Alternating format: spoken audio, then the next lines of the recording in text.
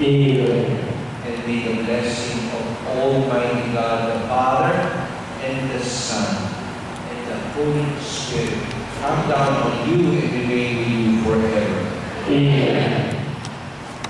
We have come to Jesus in these holy Eucharist. Let us now go and share the love of God to others.